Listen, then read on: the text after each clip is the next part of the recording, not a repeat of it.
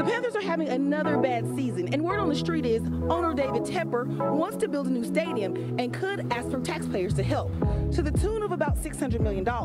So I hit the streets of Uptown to see, are y'all willing to pay? Let's go play. So are taxpayers willing to pick up the tab? No, Why not? because he traded all our good players away. And the word on the street is right now that the Panthers owner may ask taxpayers to foot the bill to keep the Panthers here and put them in a nicer stadium. What do you think about that? Um, it's interesting, just to say the least. Of you know, it's something that we want to have a good team that's around, and you know, when there's more success, people are a lot more willing to put their money towards something and improvements. I'm gonna say good luck with that because I live in Rock Hill. But, but HQ just left Rock Hill. How do you feel about that? That's it? what I'm saying. I know what he did to us down there, so I'm I'm I'm not keen. Is it worth it to you as a taxpayer, as a fan, to keep your team here and pay the bill? Yes, for sure, definitely. Why? I mean, I think it's good for the city. You know, it brings fans and excitement and fun to the city, and I don't know, like to support our team. I think it's good for Charlotte.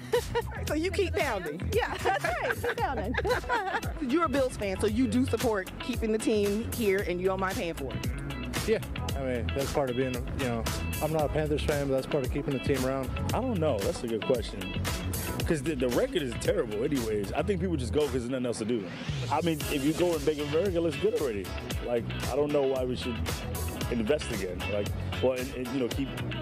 I don't think it should be. I don't think it would be a smart investment because there's so many other things they can, you know, use that to improve on.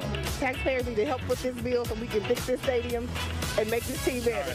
Sorry. having the NFL here benefited the city in the amount of 600 million?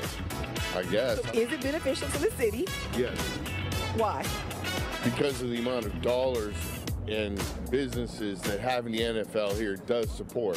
If that was put out there, I think that people would say, okay, I see where my money's going and how you're going to do this.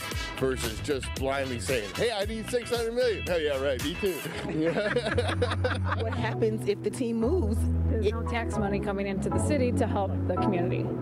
and jobs and Correct. So it could go both ways. So there might be in fact be a return on investment in stepping up. It could, I could see both ways. Yes. So are Panthers fans passionate enough to keep the team here?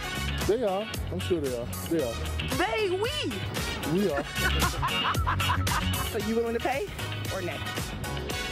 I'd have to see what it, it turns out to. I don't know. It's hard to tell on my own tax bill what, what it looks like and everything like that. Well, the people have spoken, and it seems as though most would pay to keep their team here and watch them play.